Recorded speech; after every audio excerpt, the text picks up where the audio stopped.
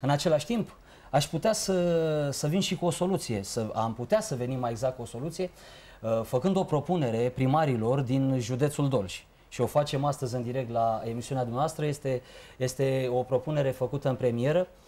S-ar putea uni mai multe comune, astfel de comune gen Comuna Gogoșu, Botoșești, Paia, Grecești, Brabova, Seaca de Pădure, toată zona aceea, ar putea forma o asociație de comune